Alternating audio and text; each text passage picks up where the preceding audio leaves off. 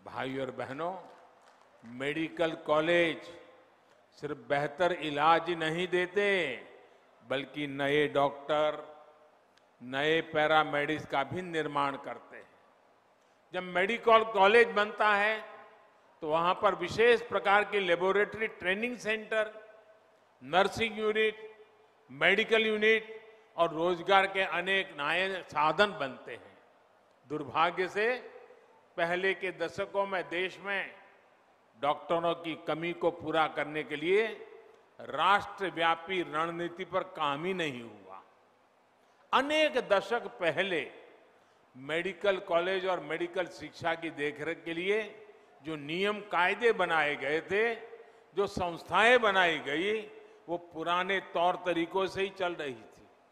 ये नए medical college के निर्माण में बाधक भी बन रही थी। बीते सात सालों में, एक के बाद एक, हर ऐसी पुरानी व्यवस्था को बदला जा रहा है, जो मेडिकल शिक्षा की राह में रुकावट बन रहा है।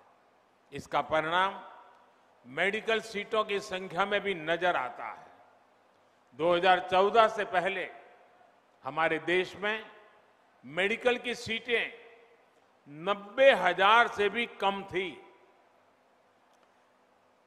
बीते सात वर्षों में देश में मेडिकल की साठ हज़ार नई सीटें जोड़ी गई हैं।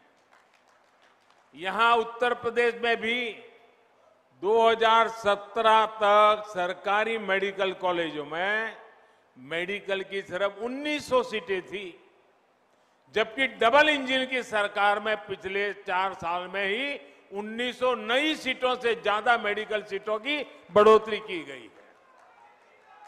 साथियों मेडिकल कॉलेजों की संख्या बढ़ने का मेडिकल सीटों की संख्या बढ़ने का एक महत्वपूर्ण पहलू ये भी है कि यहाँ के ज़्यादा से ज़्यादा युवा डॉक्टर बनेंगे। गरीब माँ के बेटे और बेटी को भी अब डॉक्टर बनने में और आसानी होगी। सरकार के निरंतर प्रयास का परिणाम है कि आज़ादी के बाद सत्तर वर्षों में जितने डॉक्टर पढ़ लिख कर निकले, उससे ज़्यादा डॉक्टर हम अगले 10-12 वर्षों में तैयार कर पाएँगे।